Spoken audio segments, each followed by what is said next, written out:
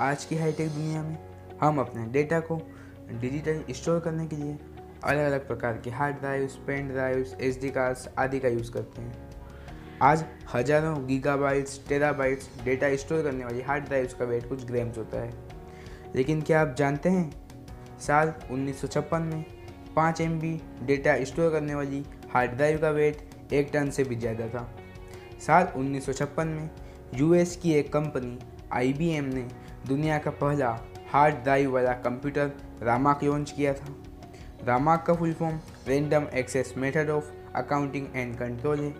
इसके पूरे कैबिनेट का वज़न एक टन से भी ज़्यादा था। इसमें पाँच एम डेटा को स्टोर करने के लिए पचास बड़ी बड़ी एल्यूमिनियम डिस्क का यूज़ किया गया, जिनके ऊपर मैग्नेटिक आयरन ऑक्साइड की परत चढ़ाई गई।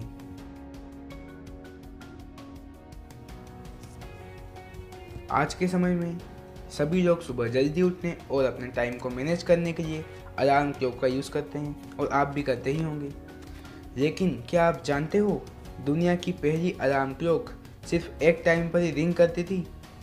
दुनिया की पहली अलार्म क्लॉक लेवी हचिन्स द्वारा ईयर 1787 में इन्वेंट की गई, जो कि सिर्फ़ सुबह के चार बजे रिंग करती थी। दरअसल लेवी हचिन्स को सुबह जल्दी उठने में परेशानी होती थी और बहुत सी बार वो काम पर जाने में लेट हो जाते थे।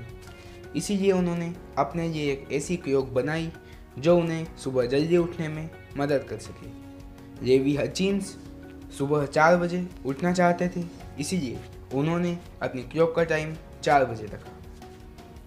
अगर आपको इफेक्ट्स अच्छे लगे हों तो वीडियो को लाइक करना शेयर करना, मेरे चैनल को सब्सक्राइब करना और मेरे न्यू वीडियोस के नोटिफिकेशन पाने के लिए बेल आइकन प्रेस करना मत भूलिएगा।